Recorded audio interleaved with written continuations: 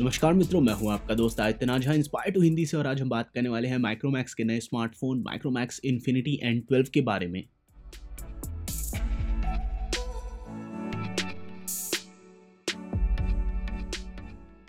तो दोस्तों, सबसे पहले शुरुआत करते हैं माइक्रोमैक्स इन्फिनिटी एन ट्वेल्व की अनबॉक्सिंग के साथ। ये इस फ़ोन के लिए ऑफिशियल बॉक्स है। ड्यूअल सिम ड्यूअल वोल्टी वाला फ़ोन है ये। चार हज़ार एम की बैटरी के साथ ही आता है और सबसे पहले देखते हैं कि बॉक्स के अंदर क्या क्या मिलता है। तो ये फ़ोन मिलता है देखने में काफ़ी सही सा है। बैक पे मस्ती ग्लॉसी मिरर टाइप की फिनिश है। है थोड़ी सी प्लास्टिक की ही ये बैक और इसके अलावा अंदर आपको यूज़र गाइड मिलता है इस फ़ोन के लिए। और सिम्पली इजेक्टर टूल मिलता है। उसके अलावा माइक्रोमैक्स के लोगो वाले स्टिकर्स मिलते हैं। और इसके अंदर ईयरफोन्स भी दिए गए हैं जो कि सही क्वालिटी के ईयर स्टाइल के हैं और और इसके अलावा micro USB to USB type A वाली केबल मिलती है। और इसका जो अडेप्टर है वो five volt one point five ampere का है तो मुझे लगता है कि चार्जिंग तो बहुत धीरे धीरे होगी और अडेप्टर का डिज़ाइन काफ़ी अलग सा है। तो यह फ़ोन जो है, ये eighteen point nine to nine aspect ratio की डिस्प्ले के साथ आता है। 6.19 इंच की एच डी प्लस स्क्रीन है और जैसे कि आप देख सकते हैं चिन काफ़ी बड़ी सी है इस फ़ोन पे। इसके अलावा नॉच भी जो है, वो थोड़ी बड़ी सी है। ध्यान से देखेंगे तो डिस्प्ले वगैरह ठीक ही है ब्राइटनेस सही है, पर जो टॉप पे आइकन्स है, उनकी पोजिशनिंग काफ़ी अजीब सी है। बैक पे फिंगरप्रिंट्स बहुत तेज़ी से आ जाते हैं और बैक पे कैमरा जो सेंसर है थोड़ा सा उठा हुआ है। ड्यूल कैमरा सेटअप है राइट हैंड साइड पे पावर बटन है और लेफ़्ट हैंड साइड पे वॉल्यूम रॉकर है। बॉटम पे 3.5 पॉइंट mm जैक दिया गया है माइक्रो यूएसबी पोर्ट है और स्पीकर ग्रिल है। आइए ऑडियो थोड़ा सा टेस्ट करते हैं और इसके अलावा बैक पे फिंगरप्रिंट सेंसर भी दिया हुआ है जो काफ़ी ज़्यादा डिप्रेस्ड है। डिप्रेस्ड यानी काफ़ी ज़्यादा अंदर धसा हुआ है तो उसको चलाने में कोई कोई थोड़ी दिक्कत आती है।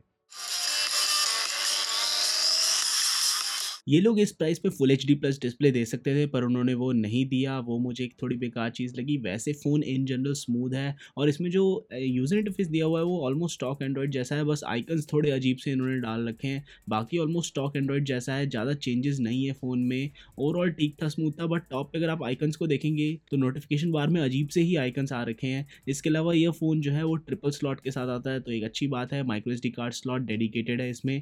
प्लस पॉइंट है। Dual SIM dual VoLTE phone है, वो भी इसका एक प्लस पॉइंट है।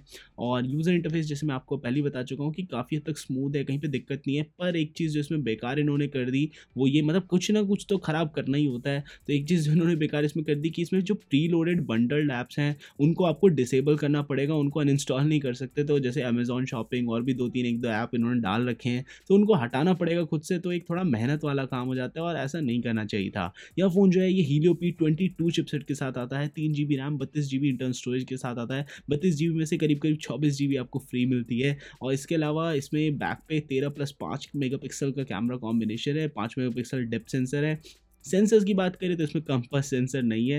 मतलब कुछ ना कुछ तो छोड़ना ही होता है। और मतलब मैं चाह रहा था कि मैं इस फ़ोन की ज़्यादा बुराई ना करूँ, पर इन्होंने काफ़ी सारी चीज़ें छोड़ रखी हैं। और इसके अंदर जो टू टू बेंच का स्कोर आया, वो सत्तर हज़ार से ऊपर आया। ठीक ठाक स्कोर है, औसत है और प्रोजेक्ट टेबल भी यह फ़ोन सपोर्ट नहीं करता तो जल्दी अपडेट्स की भी कोई गुंजाइश नहीं है। आइए ज़रा गेमिंग के बारे में बात करते हैं। तो यह फ़ोन जो है पबजी लो सेटिंग्स पे चला सकता है। लो सेटिंग्स पे सही स्मूथ चल रही थी गेम उतना कोई इशू नहीं आ रहा था। लैग्स वगैरह उतने नहीं हो रहे थे पर मुझे वही लगा कि थोड़ा मेहनत और हो सकती थी।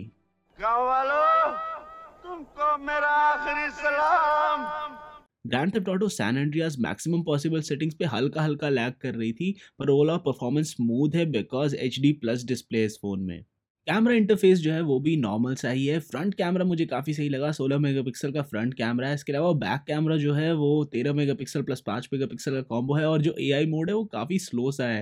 मतलब फ़ोटो क्लिक करने के बाद काफ़ी देर बाद फ़ोटोज़ आती है और जो व्यू फाइंडर पर फ़ोटो दिख रही होती है उससे काफ़ी अलग आती है। Slow motion time lapse panorama beauty video वगैरह वगैरह यह फ़ोन सपोर्ट करता है जो कि अच्छे फीचर्स हैं। इसके अलावा इसमें चार हज़ार एम की बैटरी है। और अगर मैं जैसे पिक्चर्स की बात करूँ तो मुझे फ्रंट कैमरा से लिए गए पिक्चर्स काफ़ी सही लगे। पर एच डिटेक्शन जो बोके मोड में होती है, वो चाहे फ्रंट कैमरा हो, चाहे बैक कैमरा दोनों में ही बेकार लगी। वीडियो क्वालिटी की अगर मैं बात करूँ तो वीडियोस में फोकस लेने में वो थोड़ा थोड़ा टाइम ले रहा था। बैक कैमरा से ली गई टेन वीडियो में फ्रंट कैमरा से ली गई टेन वीडियो बहुत ज़्यादा अच्छी लग रही थी देखने में। बैक कैमरा और फ्रंट कैमरा दोनों से ली गई टेन वीडियोस में ऐसा लगा कुछ हद तक स्टेबलाइजेशन है। इसके अलावा इसमें फेस अनलॉक दिया हुआ है, पर इस फेस अनलॉक की कुछ एक हँसी वाली बात यह है कि हर बार जब आप उसको यूज़ करो तो स्क्रीन फिल लाइट ओपन कर लेता है। इसके अलावा जो आप नॉच वाला एरिया देखेंगे, उसके बगल में जो आइकन है, उनकी प्लेसमेंट आप देख सकते हैं ब्लू गैप दिया ही नहीं हुआ है, अजीब सा ही है। वीडियोज़ देखते वक्त इसमें वीडियोज़ पूरी स्क्रीन में भरती हैं, पर नॉच वाले एरिया में नहीं भरती हैं तो वो भी एक ऐसी चीज़ है, कुछ लोगों को पसंद नहीं आएगी। तीन अलग अलग कलर्स में यह फ़ोन उपलब्ध होगा, ब्लू लगून वाला और वेलवेट रेड। हमने ब्लू लगून कलर टेस्ट करा दस हज़ार रुपये पे यह फ़ोन उपलब्ध होगा तीन जी बी बत्तीस जी बी वाला वेरियंट और इस प्राइस पे इसके साथ आपको जियो का भी ऑफ़र मिलेगा क्या ये फ़ोन लेने लायक है? मेरे हिसाब से नहीं यह फ़ोन लेने लायक नहीं है क्योंकि इस मार्केट में आज की डेट में एसीस के भी बहुत सारे फ़ोन्स हैं, शामी के फ़ोन्स हैं और मैं चाहता हूँ कि माइक्रोमैक्स एक बढ़िया अच्छा फ़ोन निकाले इस प्राइस सेगमेंट में 15,000 से नीचे-नीचे और ये काफ़ी सारे मॉडल निकालने के बजाय जस्ट एक मॉडल पे फ़ोकस करे, बढ़िया मॉडल निकाले।